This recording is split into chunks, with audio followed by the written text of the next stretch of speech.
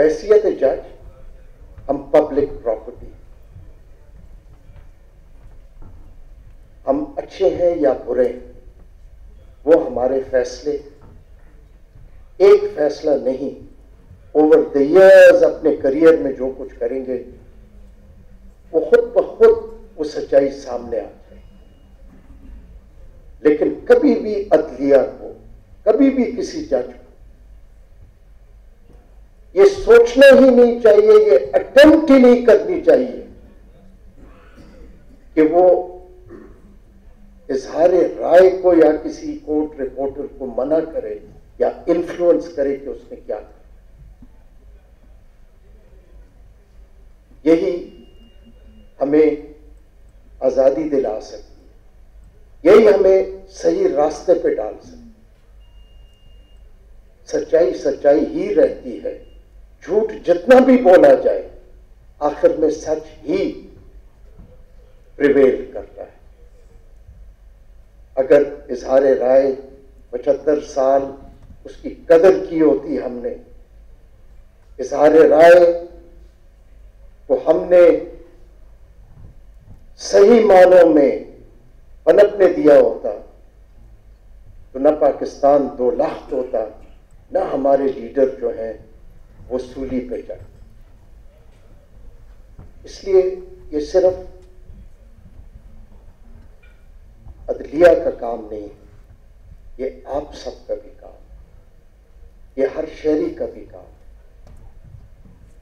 इजहार राय होगा तो हम एक अजीम कौम बन सकते हैं और ये आइन जो है, ये अपहोल्ड होगा और मैं आपकी इस काविश को यकीनन मैं आ, बहुत ही कदर की निगाह से देख सकता जाते जाते एक आखिरी दो चीज़ें बता दें। अठारहवीं तरमीम जब हुई तो बहुत सारी कुतें अठारहवीं तरमीम के मुखालिफ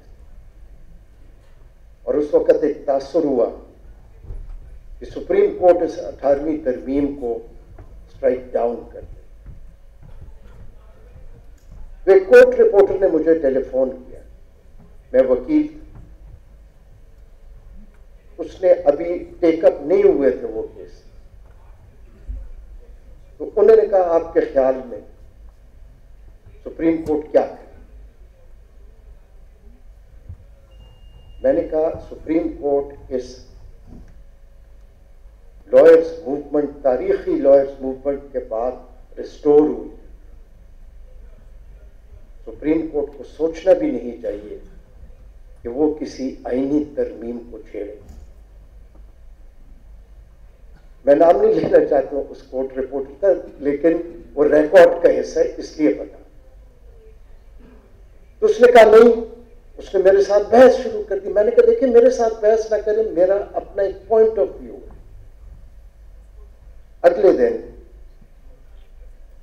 मुझे किसी ने फ़ोन किया सुबह सुबह उसने कहा, फला अखबार देखो, उसमें हेडलाइन लगी है। तुम्हारी मैंने क्या किया जो मेरी हेडलाइन वो हेडलाइन ये लगी थी, Athar threatens the supreme court तो एतजाज साहब मुझे शाम को मिले, मैंने कहा नहीं, उन्होंने ये पूछा कि अठारहवीं तरमीम अगर स्ट्राइक डाउन होगी तो आप क्या करेंगे? मैंने कहा, अगर स्ट्राइक डाउन हुई, मैं वकालत छोड़ ये उन्होंने नीचे लिखा था कि थ्रेटन्स कि अगर स्ट्राइक डाउन हो गई now this was a court reporting from a court reporter तो मैंने एतजाज साहब को कहा, मैंने कहा, मैं तो मारा गया लग तो यही रहा है कि ये अठारहवीं तरमीम जो है, ये शायद स्ट्राइक डाउन हो जाए। तो एतजाज साहब ने कहा, नहीं नहीं, हम इसका कोई मैंने कहा, ना मैंने कहा, मैंने यही कहा। और गालिबन जब अठारहवीं तरवीम स्ट्राइक डाउन नहीं हुई, मुझसे ज़्यादा खुश इंसान और कोई भी नहीं।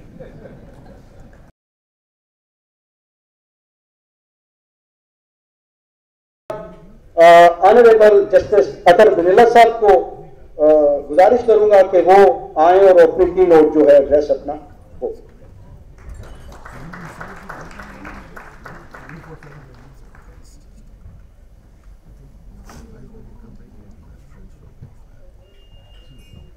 मैं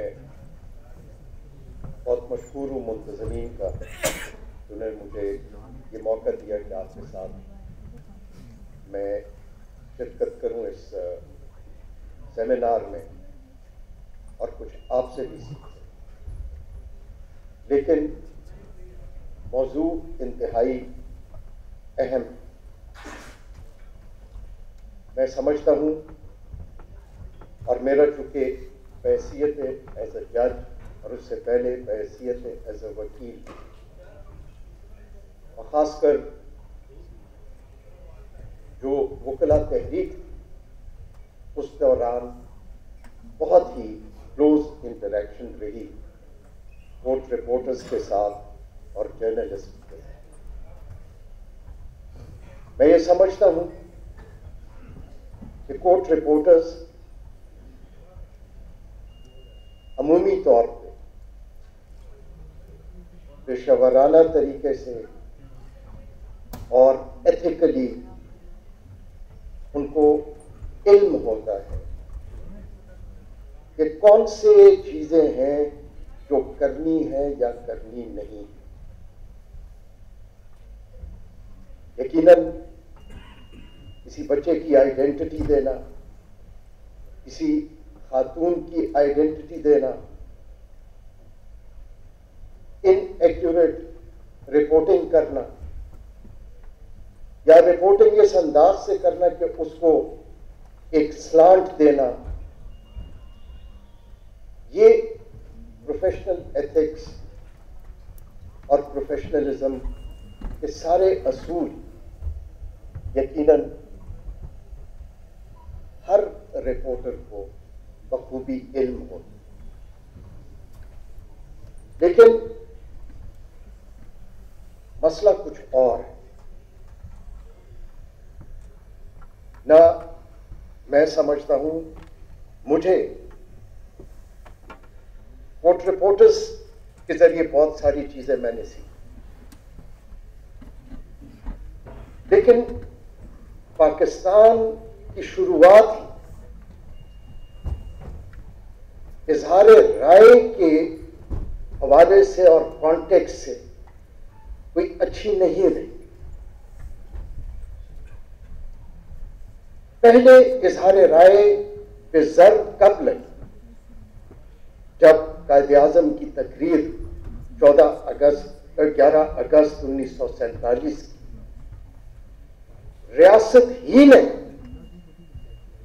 उस कायद की तकरीर को, उसकी विजन सेंसर। किसने किया? यकीनन रियासत ने किया। और वहाँ से एक लामुतनाही सिलसिला शुरू। बदकिस्मती से हमारी आदि तारीख पाकिस्तान, वो डिक्टेटरशिप्स में और उन हालात में गुजरी, जहाँ पे इजहार राय का किसी किस्म का कोई गुंजाइश नहीं थी। मुझे ईदी अमीन का एक, जो युगेंडा के सदर थे, उनका एक मकूला है। उन्होंने कहा yes there is freedom of expression but I cannot guarantee your freedom for your expression. और फ्रीडम ऑफ़ एक्सप्रेशन या इजहार राय पे यहाँ पे जर्नलिस्ट ही नहीं यकीनन जर्नलिस्ट का बहुत कलीदी किरदार रहा उन्होंने अपनी इजहार राय के असूलों को बुलंद रखने के लिए कोड़े भी खाए। लेकिन सिर्फ़ वो नहीं थे।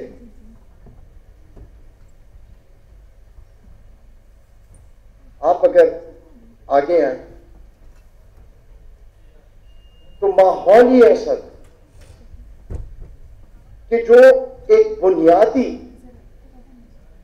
सबसे बुनियादी असूल किसी भी कोर्ट रिपोर्टर के लिए, किसी भी मीडिया पर्सन के लिए, किसी भी मीडिया के लिए। मिसाल के तौर पे अगर क्रिमिनल केस तो बुनियादी असूल सिर्फ़ पाकिस्तान में नहीं, आलमी तौर पे। आप universal declaration of human rights ले लें या आप कोई भी इंटरनेशनल जो हम भी सिग्नेटरी ले बुनियादी असूल ये है कि अगर एक अक्यूज हो, एक मुलजिम हो, बेशक उसके खिलाफ बड़े से बड़ा जुर्म का इल्ज़ाम ही क्यों ना there is presumption of innocence और जर्नलिस्टिक प्रिंसिपल्स में ये एक बुनियादी असूल है। अब जुल्फिकार अली भुट्टो का आप ट्रायल के दिनों में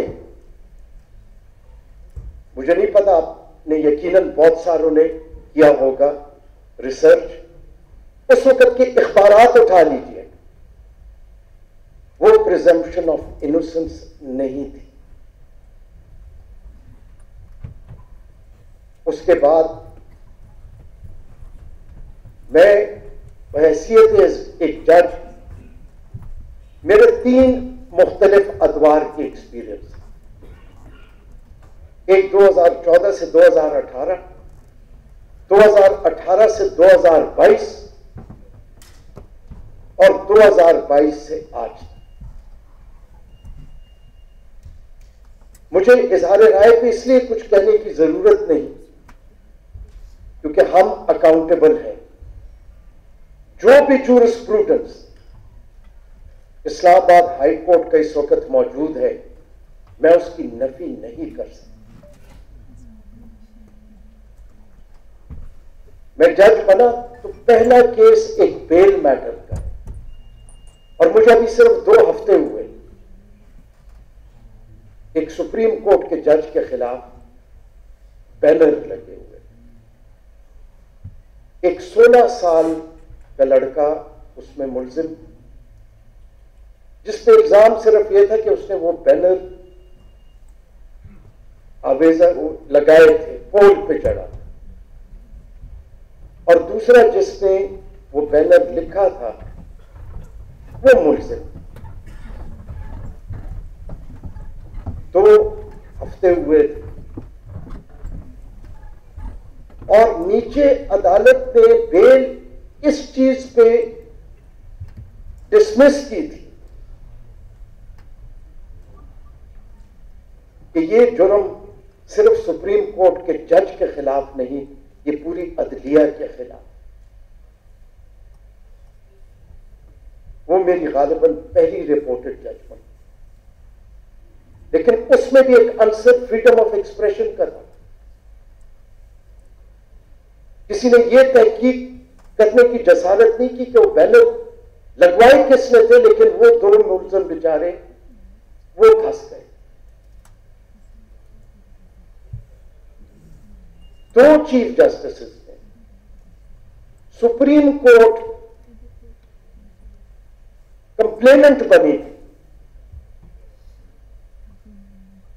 और कंप्लेनेंट बनी थी इजहार राय के ऊपर, उन पे एंटी टेररिज्म के केसेस बने थे।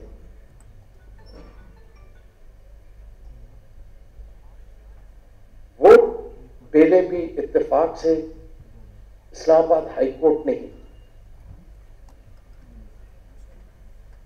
देखिए, हम बहसीत जज हम कोई चीज़ अपनी छुपा नहीं सकते। तनकीद एक ऐसा दौर है, और जिस तरह मैंने आपको कहा, एक माहौल में हम बात करते क्वेश्चन जर्नलिस्टिक एथिक्स का, या प्रोफेशनलिज्म का नहीं है। सब प्रोफेशनल है, सब एथिकल है। क्वेश्चन ये भी नहीं है कि हम कितने पोलराइज हैं। मैं अगर जुडिशरी की बात करूँ तो जुडिशरी में दो किस्म की मैं देखता हूँ कि तनकीद होती एक वो तनकीद जब एलेज किया जाता है कि कोई दानिस्ता तौर पे कोई फैसले हो रहे हैं, एक वो तनकीद होती एक वो तनकीद होती है कि जिसको मैं नहीं पसंद करता, उसको रिलीफ क्यों मिले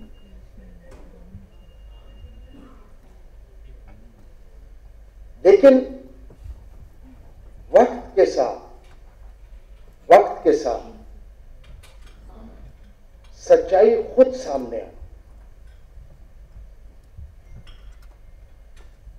2018 में दूसरा जजों को इंडिपेंडेंट होना चाहिए। ये भी जो कंटेंट के असूल हैं, ये असूल भी बरतानिया में जज को प्रोटेक्ट करने के लिए वजह नहीं हुए। वहाँ पे प्रोटेक्शन उस ज्यूरी की होती है जो कि आम शहरियों शहरियों से लिए जाते जज को तो कभी किसी तनकीद से घबराना ही नहीं चाहिए। भले हाँ तनकीद हुई है। जजेस की इंटेग्रिटी को भी क्वेश्चन किया जाता है। क्योंकि किसी नापसंदीदा शख्स को जो है वो रिलीफ में लेकिन अगर हर तनकीद करने वाला उस अदालत पे ही एतमाद करे ये एक अदलिया का टेस्ट है कि तनकीद हर एक करे लेकिन फिर तनकीद के बाद एतमाद भी करे क्योंकि यहाँ पे बहुत सारे फोर्सेस है अभी कोर्ट रिपोर्टर्स जो है, एक मुकाला मैंने लिखा था, क्योंकि एक इंटरनेशनल उसमें, कि सोशल मीडिया और इंडिपेंडेंस ऑफ़ जुडिशरी पे उसका असर क्या? मैं समझता हूँ कि कोई असर नहीं होना चाहिए। एक जज जो इंडिपेंडेंट हो, जिसने ओथ लिया हो उस पर जितनी भी तनकीद हो जाए, अगर वो किसी किस्म का असर लेता है तो वो अपने ओथ की वायलेशन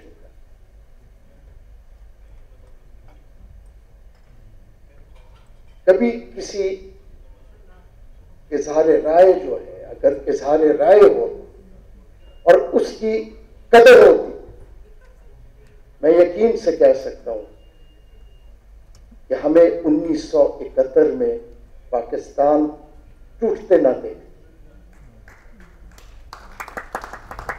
उस वक्त मजहबी पाकिस्तान में आज आप सारे वो निकाल लें। इखबार मगरबी पाकिस्तान के लोगों को बिल्कुल एक मुख्तलिफ़ पिक्चर दिखाई दी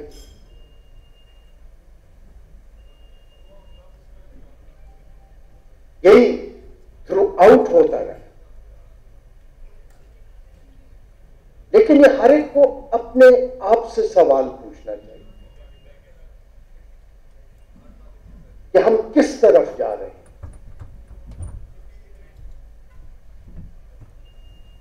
आज भी क्या हम असूलों पे बात कर रहे हैं? क्या हम असूल पे खड़े हैं? या हम जितने पोलराइज सोसाइटी हो गए, हम अपनी मर्ज़ी के फैसले भी चाहते हैं, हम अपने मर्ज़ी की गुफ्तगु भी चाहते हैं। इजहार राय बहुत बड़ी चीज़ है। और इजहार राय को कभी भी दबाने की कोशिश नहीं करनी चाहिए। अगर कोई गलत कहता है, वो खुद एक्सपोज हो जाए। वक्त के साथ एक्सपोज हो जाए। और जो टेक्नोलॉजी का दौर है, उसमें रियासतें इजहार राय को काबू नहीं कर सकती। आज कोर्ट रिपोर्टर्स जो हैं कोर्ट रिपोर्टर्स के लिए एक नया चैलेंज भी। क्योंकि वो सिर्फ़ कोर्ट रिपोर्टिंग नहीं करते, वो वी लॉग्स भी करते। वी लॉग्स में कमर्शियल इंटरेस्ट भी होता है। उसको वो कैसे बैलेंस करें, ये एक बहुत बड़ा चैलेंज है। जुडिशरी के लिए एक बहुत बड़ा चैलेंज है। कि जुडिशरी को न घबराना चाहिए न खायफ होना चाहिए, न कोई जज खायफ हो सकता है।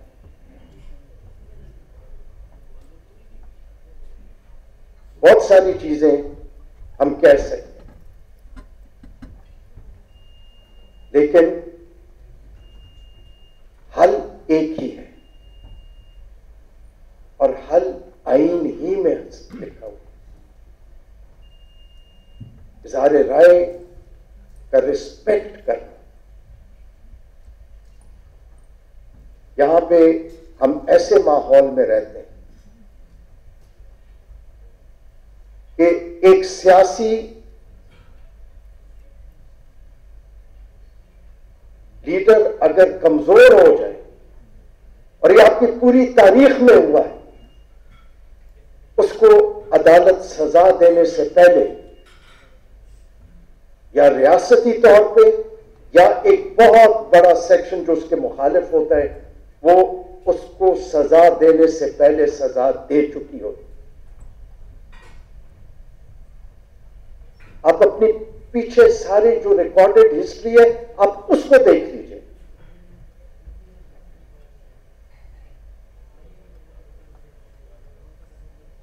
मैं सिर्फ़ एक उससे कल एक बहुत गरीब सा कैडी है। उस कैडी ने मुझसे पूछा, कि जी ये बताइए, क्या हालात ठीक हो जाएगा? अब ये बिल्कुल ना ये पढ़ा लिखा है एक गरीब कैडी है जिसके सारे दिन में जो कोई उसको मिलता है, वही उसकी मजदूरी तो मैंने उससे पूछा, मैंने कहा, तुम मुझे ये बताओ, तुम मोहल्ले में भी फिरते हो, हर जगह फिरते हो, क्या हमारे इकदार सोसाइटी के आज वो असूलों पे और सच्चाई पे और वो स्पॉन्टेनियसली हंस उसने कहा, ये सच्चाई का दौर नहीं है. देखिए, सच सबको पता और सच पचहत्तर साल सबको पता लेकिन सच को हमेशा दबाने की कोशिश की। और उसको दबाते दबाते पचहत्तर साल हम यहाँ तक पहुँच गए। मैं अपने आप को इस काबिल ही नहीं समझता कि मैं किसी कोर्ट रिपोर्टर को बताऊँ कि उसके असूल क्या है। वैसे मैंने कहा, उनको मुझसे ज़्यादा बेहतर करना लेकिन मैं बहसीत जज ये कह सकता कि हमें अगर कोई गलत भी कहता है कोई अगर ये भी कहता है, मैं तो टेलीविज़न पे देख मेरे बारे में किसी ने कहा कि जी, वो तो व्हाट्सएप पे किसी के साथ ताल्लुक में रहते थे। मैं हंस पड़ा। मैं हँसी सकता लेकिन उसकी, मैंने कभी किसी चीज़ की परवाह नहीं की है। हर दौर में किसी ने किसी ने मुझे दो फ्लैग दिला दिए, किसी ने क्या किया? क्या उसका कोई फ़र्क पड़ा? वैसियत जज, हम पब्लिक प्रॉपर्टी हम अच्छे हैं या बुरे वो हमारे फैसले एक फैसला नहीं ओवर द इयर्स अपने करियर में जो कुछ करेंगे वो खुद ब खुद वो सच्चाई सामने आ जाए। लेकिन कभी भी अदलिया को, कभी भी किसी जज को, ये सोचना ही नहीं चाहिए, ये अटेम्प्ट ही नहीं करनी चाहिए कि वो इजहार राय को या किसी कोर्ट रिपोर्टर को मना करे या इन्फ्लुएंस करे कि उसने क्या करा यही हमें आज़ादी दिला सकती है। यही हमें सही रास्ते पे डाल सकती सच्चाई सच्चाई ही रहती है। झूठ जितना भी बोला जाए, आखिर में सच ही प्रिवेल करता है। अगर इजहार राय पचहत्तर साल उसकी कदर की होती हमने, इजहार राय को हमने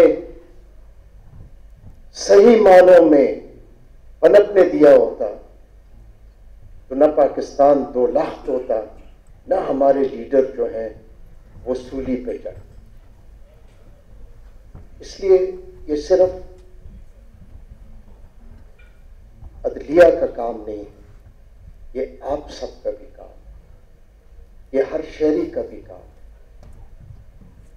इजहार राय होगा तो हम एक अजीम कौम बन सकते हैं और ये आइन जो है ये अपहोल्ड होगा और मैं आपकी इस काविश को यकीनन मैं आ, बहुत ही कदर की निगाह से देख सकता हूँ। जाते जाते एक आखिरी दो चीज़ें बता दें अठारहवीं तरमीम जब हुई तो बहुत सारी कुतें अठारहवीं तरमीम के मुखालिफ और उस वक्त एक तासर हुआ कि सुप्रीम कोर्ट इस अठारहवीं तरमीम को स्ट्राइक डाउन कर दे। तो एक कोर्ट रिपोर्टर ने मुझे टेलीफोन किया। मैं वकील उसने अभी टेकअप नहीं हुए थे वो केस। तो उन्होंने कहा, आपके ख्याल में सुप्रीम कोर्ट क्या करे मैंने कहा, सुप्रीम कोर्ट इस लॉयर्स मूवमेंट तारीखी लॉयर्स मूवमेंट के बाद रिस्टोर हुई। सुप्रीम कोर्ट को सोचना भी नहीं चाहिए कि वो किसी आईनी तरमीम को छेड़े। मैं नाम नहीं लेना चाहता हूँ उस कोर्ट रिपोर्ट का लेकिन वो रिकॉर्ड का हिस्सा है, इसलिए बता तो उसने कहा, नहीं उसने मेरे साथ बहस शुरू कर दी। मैंने कहा, देखिए, मेरे साथ बहस ना करें, मेरा अपना एक पॉइंट ऑफ़ व्यू अगले दिन, मुझे किसी ने फ़ोन किया सुबह सुबह। उसने कहा, फला अखबार देखो, उसमें हेडलाइन लगी है तुम्हारी। मैंने क्या किया जो मेरी हेडलाइन वो हेडलाइन ये लगी थी, Athar threatens the Supreme Court. तो एतजाज साहब मुझे शाम को मिले। मैंने कहा उन्होंने ये पूछा कि अठारहवीं तरमीम अगर स्ट्राइक डाउन हो गई तो आप क्या करेंगे? मैंने कहा, अगर स्ट्राइक डाउन हुई, मैं वकालत छोड़ ये उन्होंने नीचे लिखा था कि थ्रेटन्स कि अगर स्ट्राइक डाउन हो गई now this was a court reporting from a court reporter तो मैंने एतजाज साहब को कहा, मैंने कहा, मैं तो मारा गया लग तो यही रहा कि ये अठारहवीं तरमीम जो है, ये शायद स्ट्राइक डाउन हो जाए। तो एतजाज साहब ने कहा, नहीं नहीं, हम इसका कोई, मैंने कहा, ना, मैंने कहा, मैंने यही कहा। और गालिबन जब अठारहवीं तरमीम स्ट्राइक डाउन नहीं हुई, मुझसे ज़्यादा खुश इंसान और कोई भी नहीं। तो इसलिए, देखिए इजहार राय ओपन होना चाहिए। उस टाइम पे भी। जब हम बहुत वो थे तो एक हेडलाइन लग गई थी यस्टरडेज हीरोज बिकम ज़ीरो वो दो तीन सीरीज़ ऑफ़ आर्टिकल छपा। और मैं उस अखबार को कम अज कम ये क्रेडिट दे कि मैंने उनको अपना वर्जन भेजा और उन्होंने छाप। वो इजहार राय थी। और इजहार राय को इनकरेज करना चाहिए। जिस सोसाइटी ने भी ईदी अमीन की तरह डिस्करेज किया है, वो सोसाइटियाँ तबाह हुई क्योंकि जो गलत काम नहीं कर रहा, उसको घबराना ही नहीं चाहिए। लोग स्लांट भी देंगे, हम पोलराइज सोसाइटी में हैं, बहुत कुछ होगा। लेकिन जमहूरी माशरे में, जमहूरी जहाँ पे आइन की बालादस्ती हो। वहाँ पे जार राय पे किसी किस्म की कोई कदखल नहीं रहे। और जाते जाते इतना मैं कहूँगा, मेरे चार साल as chief justice Islamabad high court का। और मुझे ये कहने में किसी किस्म का कोई आर नहीं। कि उन चार सालों में मेरे ख्याल में वो इधर मौजूद हैं। मैंने कभी उनको न किसी हाई कोर्ट की तरफ़ से कभी कोई रिपोर्टिंग में इन्फ्लुएंस करने की कोशिश की, क्योंकि वो इन्फ्लुएंस करने की उनको ज़रूरत नहीं थी।